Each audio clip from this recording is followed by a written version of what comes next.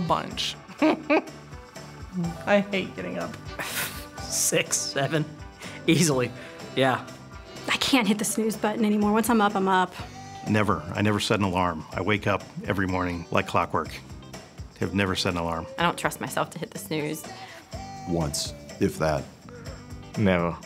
I don't need an alarm clock. At least two or three times. Uh, it depends on the day of the week. On a Monday, it's tough, so I'd say I'm at at least a two. Not always. I don't always hit it. If I do, it's one time. On work days, two to three.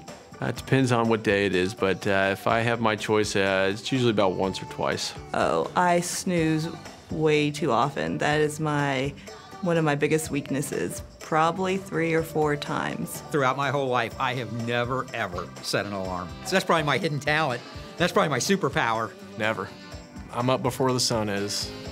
I, I, I, I've never used an alarm clock. Zero. Never. I really don't. I just wake up. I just wake up. Never. Yeah, I don't trust it. I wake up usually without it, but I, I wouldn't trust myself. Hmm, three. I feel like you're the most honest doctor we've had. I don't. No, I do. I do.